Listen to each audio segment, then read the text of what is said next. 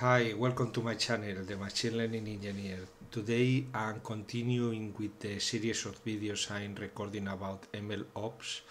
With MLflow, uh, I will introduce you how to use uh, MLflow with the, probably the most uh, known uh, libraries of deep learning libraries, which are PyTorch and TensorFlow. I think that I don't need to introduce to introduce you these libraries. Uh, probably most of you knows uh, or they have been working with them.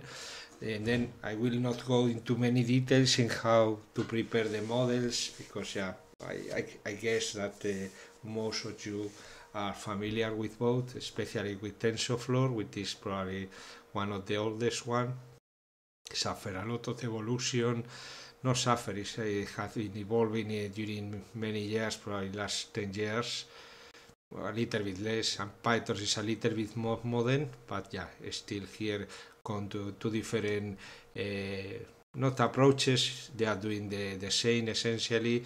Probably today is more popular MLflow, especially on the research uh, in research environments, but well, uh, I use both uh, different projects depending the Eh, what the, the other eh, colleagues know more eh, to be honest, today I'm using more MLflow, but sorry, PyTorch, but yeah, I had experience with both in different projects. So we are going to look at the integration with the conventional deep learning libraries. So as you probably know, MLflow integrates natively with these six uh, frameworks. Uh, probably if something is not here, is uh, quite unusual uh, because we're here.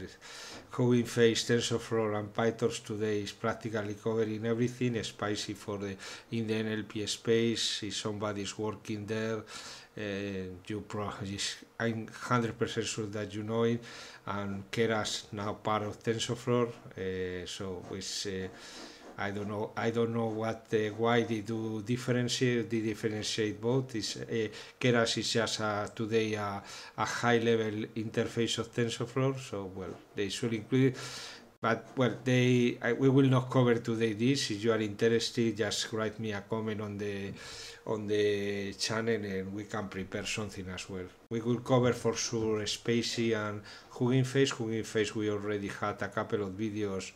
Uh, integrating the uh, fine-tuning of the models, Hugging Face models uh, with MLflow. Uh, you can take a look. We were working with uh, T5 models and doing and fine-tuning the T5 base for uh, document classification for for classification in in that case you can take a look on the on the channel if you cannot find the the exactly the the videos uh, i'm talking about just write me as well on the channel and i will, and I will point you out which ones are, are there so okay so today we will again cover TensorFlow PyTorch. It's gonna be very quickly. So I'm working in in Google Colab uh, to expose the the MLflow server. I will use uh, NGROK. For those that uh, uh, follow my channel, you probably know what I'm talking about. It's not it's a, tunneling tool uh, which allow us to expose uh, a port uh, where a, a server is exposing information and this uh, server is behind a reverse proxy or an application firewall or a firewall itself and the port is not open. It's creating a tunnel from the port that the, the application where the application is listening and exposing the information is forwarding this port to the NG NGROK uh, infrastructure and you can access to it in a public IP address that they uh, publish uh, for, for you to you access the information i'm using here the the free account. So it's nothing to pay. You want to but the only limitation you have is you can only have one tunnel open at the same time. If you use a paid account you can use more tunnels but in this case it's more than enough. I just want to expose the ml flow. And as you see here well let's cover the, a little bit what we are doing here. We we mount the drive we import. Some some libraries here as well. And here with get_ipython we are uh, just running uh, with the method system_raw the MLflow server in the port 500,000 here we import ngrok we kill the any existing tunnels. If, if, if one exists and here you need a token uh, you, if you create an account in, in ngrok you will get a token at the time that you created um, uh, we just initialize the, the, the, client and we connect and forward the port 500,000 local to uh, using HTTP or HTTPS to the infrastructure or NGROK. Once you get, uh, once it's done, you you get a public IP address and if you get here to the MLflow server, you can see here is where I'm basically connecting. This is what it's doing again, is just creating a tunnel in between their infrastructure and this uh, Colab uh, box, Colab, uh, Google Colab box, which at the end of the day is a, is a Unix box. You can go here, you will see that uh, this is simply a Linux which uh, which is running some additional front for you and this Linux is running behind a server we had a, a firewall in the Google infrastructure. Of Uname not working. Yeah exactly. Linux blah, blah, blah. it's probably a, a Linux uh, pre, pre pre-designed or pre pre-compiled by by Google just for this purpose with some bastioning and some specific uh, tools just for them. But okay, that's not the matter of this video. So we import the um, uh, some libraries. Um, we simply download the Fashion MNIST. This is very also well known. It's for Torch Vision. It's a dataset with images of um, fashion, uh, clothes, uh, trousers, t-shirts, etc. We we had a training data and we have a test data. Train false, train true. Okay, exactly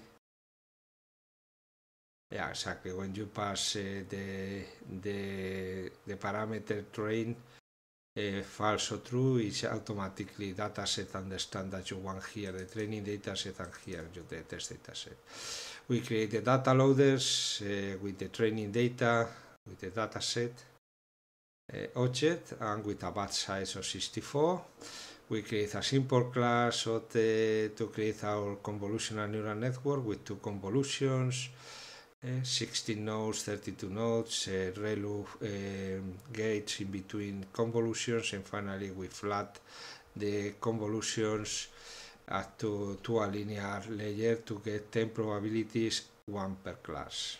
The forward method, we set the tracking URI to our local host for 5000, we set the experiment, we get uh, we check if we have a GPU with the Torch CUDA is available, and we create a train and evaluation uh, algorithms. I'm not going to cover this because I'm, I'm 100% sure that this is very, very simple for you. It's just, just take a look later. I, I will upload the notebooks uh, later on to, to your review. The purpose is, again, not, not uh, look at uh, of uh, PyTorch, is also not Eh, TensorFlow is just see how. And, eh, what I wanted to expose you with these videos, and if you watch uh, the videos done low before with sktime, Prophet, and also Transformers, you will see how easy is to uh, do experimentation with uh, any any flavor, any model, any library which integrate with uh, MLflow. It's just enclose everything in a with block, and once as this PyTorch is uh, natively integrated with uh, MLflow. It will, MLflow will capture everything that you that the model produce, and it will log automatically to the MLflow server. Here, just we just create a, a name for the for, for this run name. We start the experiment, parameters for the learning. We lock the parameters to the to the to the flow. We create a summary of the model and we lock as well this summary. I will show you how it looks like to the uh, as an artifact to the to the model and then on we here just we print out uh, the the output so the train and evaluate uh, methods and finally we serialize the model with the class PyTorch so we are using the flavor flavor PyTorch in this case so as you probably remember uh, every class that is uh, integrated natively has a, a uh, yeah, class. Uh, every every library has a class in in MLflow. You will see here. Here we have PyTorch. This is the you are working with the model flavor flavor PyTorch, and here you are working with models flavor TensorFlow. So, but uh, you see the same exactly the same method is defined in TensorFlow, and then you will see how we uh, we, we train the model and here we just load the model instead with the class uh, with the method of the class PyTorch we use just just use the generic class pyfunc and we load the model using the same format that uh, we, we may use to load the model with the we can check here. Is uh, PyTorch loaded. You just do here ml yeah better to do it down just in case that later you run this in your environment uh, ml flow pytorch load model and you just pass as well the logged model. Here we are loading with uh, and here we are loading with PyTorch and exactly the same. So the advantage to using this is just you, you just use something generic uh, for uh, uh and you can use it uh, with the same exactly the same format in any any uh, with any library now uh, the only the only how to say characteristics is you can to say that is that you need to transform the input to numpy and uh, if you if you use the py font, and if you use uh, the PyTorch, PyTorch loaded you just need to let's check here to just do the same but without numpy turn no wrong. Let me just check uh, where are you? One second. Yeah true my bad you can do that is uh, you need to use simply the pywhite uh, because here what you have essentially is the pytorch mode. You just uh, uh you don't have here um, we don't implement the prediction in the in the class. We just have here a serialization of the image class. So we need to do something similar to what we did in evaluation just to to get the predictions as we we get it here. But again well uh, the idea uh, is just show you how to you can retrieve the model from from the here probably we need a little bit more uh, work in this case because as you can see here the model that we are getting here is a, a image class image classifier, the class that we define about, and then we will need to prepare a little bit more to just, uh, well, something like similar to this to evaluate, just uh, create, a, take a batch, put the model in eval, and calculate the loss and the predictions here.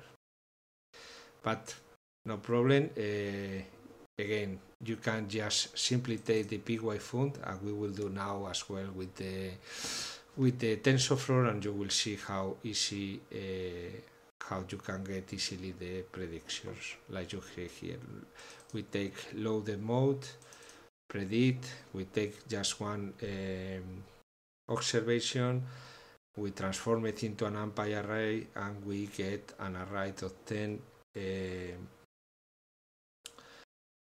of the probabilities of the of the logits uh, and then we just take the biggest one the max.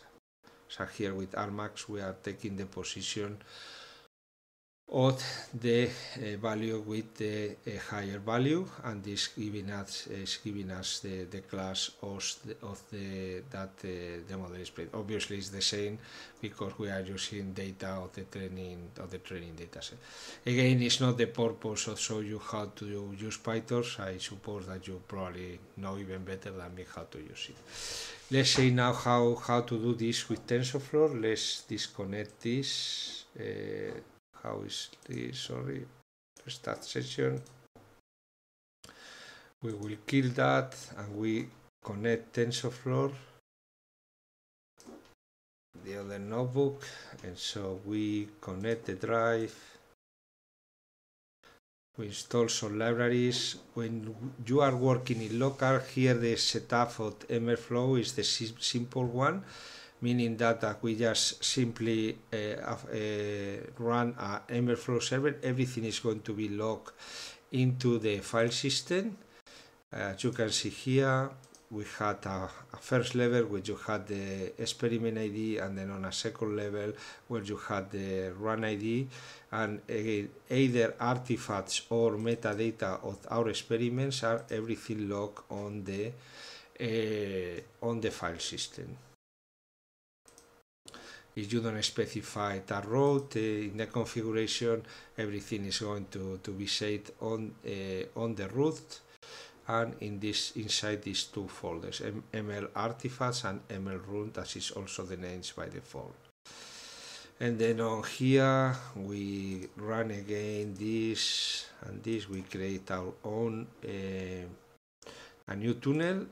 You can check here we go here and we have another MLflow server. In, in this, this, is a second runtime. This is I already run this. Uh, we import TensorFlow version 2.15. So we check it. We have a GPU with the config list physical devices. As you can see here, we have a GPU in a CPU we create a class to normalize the data. This is to be a linear regression problem. And export module just to get the signature. And here we calculate another function to calculate the loss. We take the California housing dataset from TensorFlow from TF we just prepare here the data, training test, normalize the data here, tracking URI again. And again, you can see here, you, you just need to worry about uh, uh, prepare your functions to train your data. The rest, uh, MLflow will take care. And exactly the same, you enclose your training inside a with block. We pass here as well a name and here we are you just execute this it's gonna run the model here. We are running the uh, logging the model as well with uh, TensorFlow. TensorFlow flavor. And we pass as well the signature. The signature is sometimes very important because it's giving you also information in how you have to input the model for inference and also for uh, what, what is the input of the model and what is the output of the model. So here we take the run ID, we log the model again, you, you take a look here, pyfunc function, and it's downloading the artifacts and we just make a prediction using the uh, X_test uh, dataset. If we go to MLflow, here we have a new experiment, TensorFlow. So here everything that the model has captured, model metrics. You see here the loss, the final training loss, etc. And you have here the artifacts. And you can see here is a, a PB file from TensorFlow and all the metadata you need to replicate or to deploy this model into a different environment.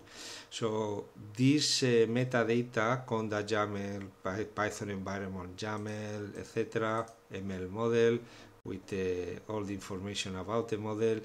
This is uh, captured uh, exactly from the environment you are working on and training this model. So what the MLflow recommend is you are going to deploy this model into uh, another uh, point inference point that use the information that is produced here because this will guarantee you that the model is going to uh, work uh, correctly.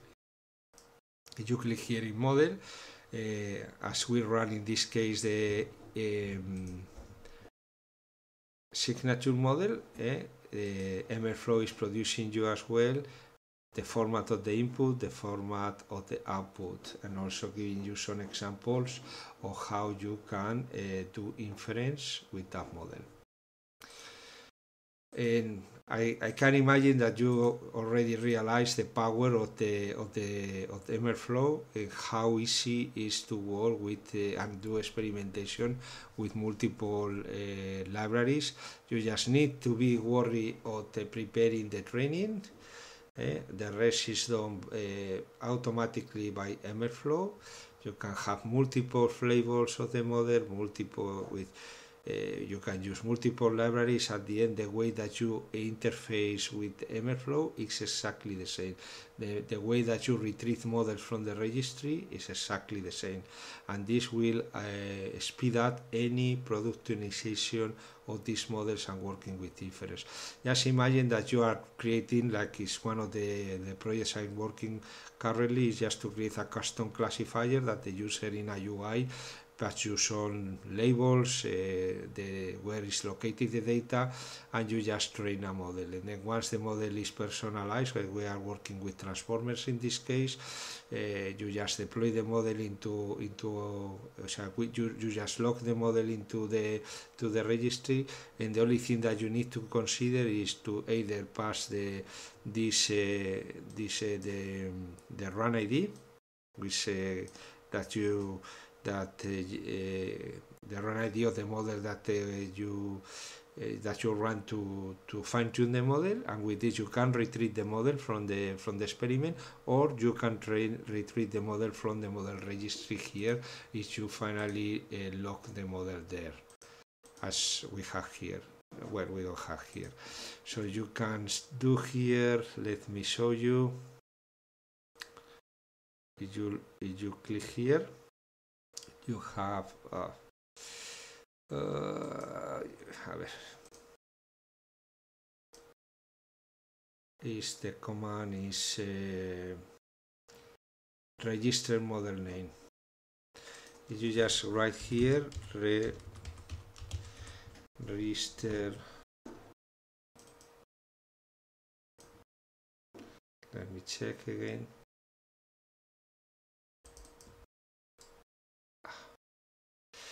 sometimes when you are working in direct ah, come on. Copy. Ah.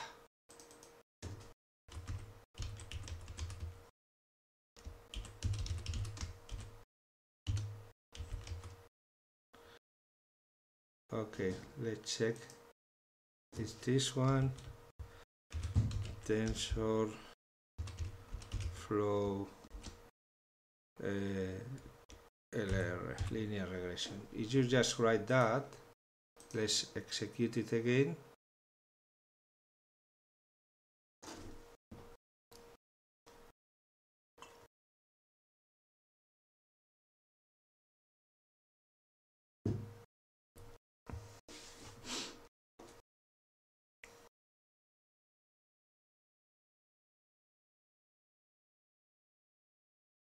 You can you can see here you had a version 1 model TensorFlow and now you also can point directly using the name where is that?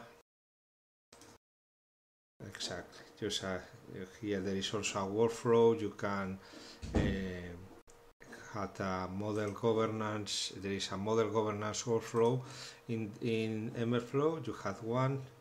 Eh? No, it's not. I'm not going to show. So you can uh, move uh, to the different. Uh, so this model is in stage deprecate, deprecate so no no no stage and well you have here if you use model inference you have all the information as well here and well you can take the model either from here uh, from the model registry there is different methods but uh, also a class model. We will look at this in a, in a different video. You can re either retrieve the model from here or retrieve the model from the experiment using the run id and with that with just simply that you retrieve the model. You once you are happy with that you can have multiple models with multiple flavors with different approaches in terms of the of the training or also some of them with hyperparameter tuning. We will cover the hyperparameter tuning in another video. So you can have everything logged and you just need to point to the either to the model registry and use the version. Also you you can log on on the on the uh, on the model registry also some notes or tags which tell you what did what did you use eh, and when you were training this model or, or when you were doing hyperparameter tuning that time you can review you can make search into the database. At the end of the day here this is uh, you can make uh, SQL queries to the to the tool and find information and find the exactly what you are looking for just if you obviously here we didn't use tags but that's no wrong we can use here already tags um, yeah in, in, in metadata you can specify tags eh? uh, this metadata is a dictionary and then you can specify their tags that later you will see here for example. And then you can tag this model like uh, well uh, fine tune it with uh, blah blah blah. Also you can provide a description. And finally you can do experimentation and, and testing and switch from model to model very quickly. Just you need to know where to point and where the model all the models are there. You just need to keep track uh, or try to make your life easier uh, tagging the, the models and providing information at the time that we are logging the models in order to later later on uh, find the model quickly and use it and be able to, to switch and experiment with the models very simple. But just looking at what we did here you probably understand that it's quite easy to do it with MLflow and then on is a tool which really help us a lot when we are uh, productionizing or working in, in on the machine learning side, no? on the on, on the engineering side, and uh, not uh, and we try to well move something or speed at speed up the process of deploying things to production and make the, the models available to the final customers. Okay, that's all for today. Thank you very much for watching as usual. I will post now the, the, the notebooks to the notebook to the repository as usual and I will put a link on the description of the of the video. Uh, I will upload to YouTube uh, right away and uh, as usual thank you very much for watching subscribe to the channel if you didn't do it before give me a like if you enjoy the content and you find it interesting and useful for your job, for your training, and, and share with your colleagues and, and try to help me to promote the, the model, the, the model, the channel. Thank you very much. See you soon. Ciao, ciao.